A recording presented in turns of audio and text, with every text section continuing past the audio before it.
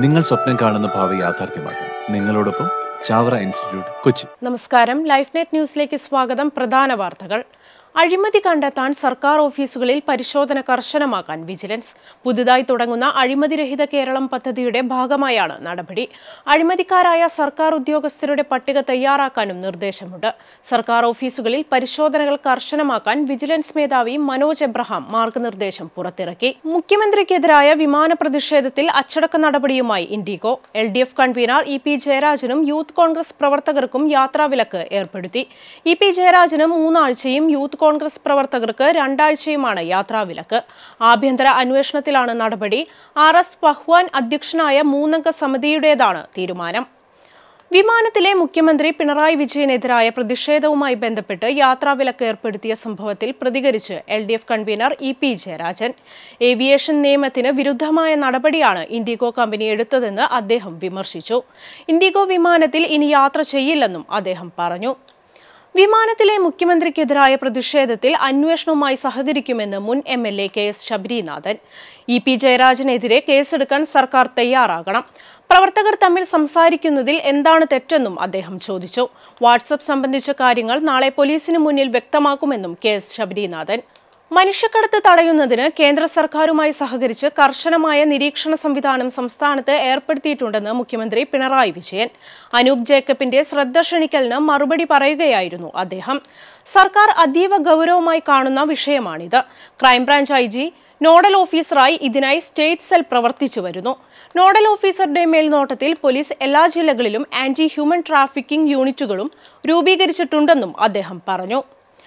കിഫ്ബി സാമ്പത്തിക ഇടപാടിൽ ഇതുവരെ ഇ ഡി നോട്ടീസ് ലഭിച്ചില്ലെന്ന് മുൻ ധനമന്ത്രി തോമസ് ഐസക്. എൻഫോഴ്സ്മെന്റ് നീക്കം രാഷ്ട്രീയ പ്രേരിതമെന്നും ബി ജെ പി സർക്കാർ കേന്ദ്ര ഏജൻസികളെ രാഷ്ട്രീയമായി ഉപയോഗിക്കുന്നുവെന്നും അദ്ദേഹം പറഞ്ഞു. ഇതിനെ രാഷ്ട്രീയമായി തന്നെ നേരിടും. ഹാജരാകുന്നതിൽ തീരുമാനം നോട്ടീസ് ലഭിച്ചതിന് ശേഷമെന്നും തോമസ് ഐസക്. കിഫ്ബിയിലെ സാമ്പത്തിക ഇടപാട് സംബന്ധിച്ച് മുൻ മന്ത്രി തോമസ് ഐസക്കിന് ഇ ഡി നോട്ടീസ് അയച്ച വിഷയത്തിൽ പ്രതികരണവുമായി കോൺഗ്രസ്. സർക്കാർ നടത്തുന്ന ഏത് പദ്ധതിയായാലും അത് കൃത്യമായി സ്ക്രൂട്ടനിക്ക് വിധേയമാക്കണമെന്ന് വി ടി ബലറാം പറഞ്ഞു. കിഫ്ബിയുടെ കാര്യത്തിൽ നേരത്തെ തന്നെ തോമസ് ഐസക് സൂക്ഷ്മ പരിശോധനയ്ക്ക് തയ്യാറായിരുന്നില്ലെന്നും അദ്ദേഹം ആരോപിച്ചു. അട്ടപ്പാടി ആൾക്കൂട്ടമർദ്ദനത്തിൽ കൊല്ലപ്പെട്ട മധു കേസിൽ ഒരു സാക്ഷി കൂടി കൂറുമാറി. പന്ത്രണ്ടാം സാക്ഷി വനം വകുപ്പ് വാച്ചർ അനിൽകുമാറാണ് കൂറുമാറിയത്. മധുവിനെ അറിയില്ലെന്ന് അനിൽ കോടതിയെ അറിയിച്ചു. പോലീസിന്റെ നിർബന്ധപ്രകാരമാണ് നേരത്തെ രഹസ്യമൊഴി നൽകിയതെന്നും സാക്ഷി വ്യക്തമാക്കി.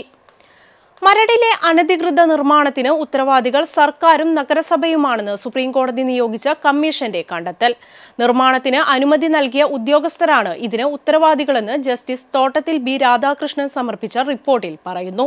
രാജ്യസഭയിൽ അടിയന്തര പ്രമേയ നോട്ടീസ് നൽകി എളമരം കരീം എം അരി ഉൾപ്പെടെയുള്ള ഭക്ഷ്യധാന്യങ്ങൾക്കും മറ്റ് നിത്യോപയോഗ സാധനങ്ങൾക്കും അഞ്ച് ശതമാനം ജി എസ് ടി ചുമത്തിയ നടപടി പിൻവലിക്കണമെന്നും ജനങ്ങളെ ശ്വാസം മുട്ടിക്കുന്ന വിലക്കയറ്റം സഭാ നടപടികൾ നിർത്തിവെച്ച് ചർച്ച ചെയ്യണമെന്നുമാണ് ആവശ്യം. ഇന്ത്യയുടെ പതിനഞ്ചാമത് രാഷ്ട്രപതി തെരഞ്ഞെടുപ്പിൽ പ്രധാനമന്ത്രി നരേന്ദ്രമോദി വോട്ട് രേഖപ്പെടുത്തി. എം പിമാരും പാർലമെന്റിൽ വോട്ട് രേഖപ്പെടുത്തി. ഇന്ന് രാവിലെ പത്ത് മണിക്കാണ് വോട്ടെടുപ്പ് ആരംഭിച്ചത്. വർഷകാല സമ്മേളനത്തിൽ നിയമനിർമ്മാതാക്കൾ തുറന്ന മനസ്സോടെ ചർച്ചകൾ നടത്തണമെന്ന് പ്രധാനമന്ത്രി നരേന്ദ്രമോദി. മൺസൂൺ സമ്മേളനം വളരെ പ്രാധാന്യമുള്ളതാണ്. വിവിധ വിഷയത്തിൽ ആഴത്തിലുള്ളതും ആരോഗ്യപരവുമായ സംവാദം നടത്തണമെന്നും അദ്ദേഹം ആവശ്യപ്പെട്ടു. വൈദ്യുതി ചാർജ് വർധന യുക്തിയില്ലായ്മയെന്ന് പ്രതിപക്ഷ നേതാവ് വി ഡി സതീശൻ. ലാഭമുണ്ടാക്കുമെന്ന് ഒരു വശത്ത് അവകാശപ്പെടുമ്പോൾ മറുവശത്ത് സർക്കാർ ജനങ്ങൾക്കുമേൽ ഭാരമേൽപ്പിക്കുകയാണെന്നും അദ്ദേഹം പറഞ്ഞു. മുസ്ലിം ലീഗ് പ്രവർത്തക സമിതി യോഗത്തിൽ ദേശീയ ജനറൽ സെക്രട്ടറി പി കെ കുഞ്ഞാലിക്കുട്ടിക്കെതിരെ വിമർശനമുയർത്തിയ സംസ്ഥാന സെക്രട്ടറി കെ എസ് ഹംസയെ പാർട്ടി സ്ഥാനങ്ങളിൽ നിന്നും മാറ്റി. പാർട്ടിയിലെ എല്ലാ സ്ഥാനങ്ങളിൽ നിന്നുമാണ് ഹംസയെ നീക്കിയത്. സംസ്ഥാന അധ്യക്ഷൻ സാദിഖലി തങ്ങൾ ഇടപെട്ടാണ് കെ എസ് ഹംസയ്ക്കെതിരെ നടപടിയെടുത്തത്. സ്വർണക്കടത്ത് കേസ് പ്രതിയായ സ്വപ്ന സുരേഷ് ഇപ്പോഴും എച്ച് ആർ ഡി എസിന്റെ ഭാഗമാണെന്ന് സംഘടനയുടെ സ്ഥാപക സെക്രട്ടറി അജി കൃഷ്ണൻ. അവരെ പേറോളിൽ നിന്ന് മാത്രമാണ് നീക്കിയത്. സംഘടനയ്ക്ക് വിദേശ ഫണ്ട് ലഭിക്കാൻ സ്വപ്ന സുരേഷിന്റെ സഹായം അത്യാവശ്യമാണ്. അതിനാൽ അവർക്ക് സംഘടനയിൽ ഉന്നത പദവി നൽകി ഒപ്പം നിർത്തിയിരിക്കുകയാണെന്നും അജി കൃഷ്ണൻ പറഞ്ഞു. സംസ്ഥാനത്ത് ഇന്ന് ഒറ്റപ്പെട്ടയിടങ്ങളിൽ ശക്തമായ മഴയ്ക്ക് സാധ്യത. മധ്യ കേരളത്തിലും വടക്കൻ കേരളത്തിലുമാണ് ഇന്നും കൂടുതൽ മഴയ്ക്ക് സാധ്യതയുള്ളത്. ഇടുക്കി മലപ്പുറം കാസർഗോഡ് ജില്ലകളിൽ ഇന്ന് യെല്ലോ അലർട്ടാണ്. അതേസമയം കേരള തീരത്ത് മത്സ്യബന്ധനത്തിന് നിലവിൽ തടസ്സമില്ല. നാല് ദിവസത്തിനു ശേഷം രാജ്യത്തെ പ്രതിദിന കോവിഡ് കേസുകളിൽ കുറവ്. കഴിഞ്ഞ ഇരുപത്തിനാല് മണിക്കൂറിനിടെ പതിനാറായിരത്തി തൊള്ളായിരത്തി മുപ്പത്തിയഞ്ച് പേർക്ക് രോഗം സ്ഥിരീകരിച്ചു. കേന്ദ്ര ആരോഗ്യ മന്ത്രാലയത്തിന്റെ കണക്കുകൾ പ്രകാരം പ്രതിദിന അണുബാധ നിരക്ക് ആറ് ദശാംശം നാല് എട്ട് ശതമാനമാണ്. മധ്യപ്രദേശിൽ നദിയിലേക്ക് ബസ് മറിഞ്ഞ് പതിമൂന്ന് പേർ മരിച്ചു. നിരവധി പേർക്ക് പരിക്കേറ്റിട്ടുണ്ട്. ഇന്ന് രാവിലെയാണ് താർ ജില്ലയിൽ നർമ്മദ നദിയിലേക്ക് ബസ് മറിഞ്ഞത്. ഇൻഡോറിൽ നിന്ന് പൂനെയിലേക്ക് പോകുകയായിരുന്ന ബസ്സാണ് അപകടത്തിൽപ്പെട്ടത്. മുഖ്യമന്ത്രി പിണറായി വിജയനെയും മുൻ മന്ത്രി എം എം മണിയെയും വിമർശിച്ച് Uma Thomas M L A. T P വധം സി പി എം കൊട്ടേഷൻ എന്ന് ഉമാ തോമസ് നിയമസഭയിൽ ആരോപിച്ചു.